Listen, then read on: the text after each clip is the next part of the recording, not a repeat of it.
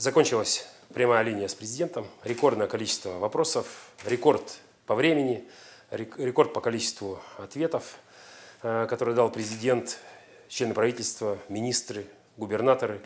Абсолютно новый формат общения э, в режиме, онлайн, когда вся страна, все руководство регионов не только смотрело, но и были соучастниками этого процесса. Мы готовились к ответам на любой вопрос, который поступит э, по региональной повестке.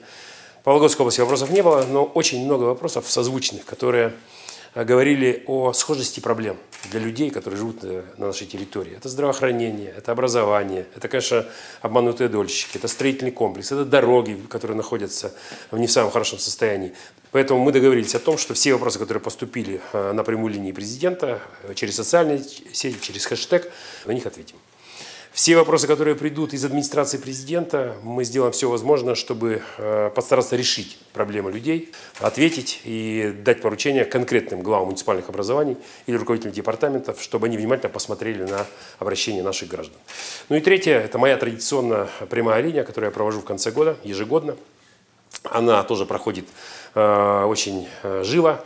Конечно, не так много по времени, там буквально 2-2,5 часа, но все равно количество вопросов э, более 2000. Я отвечаю где-то на 50, 70, до 100 вопросов во время прямой линии. Поэтому э, задавайте вопросы. В конце года я отвечу на все самые злободневные вопросы, которые волнуют жителей Вологодской области. Это будет декабрь месяц, декабрь 2018 года.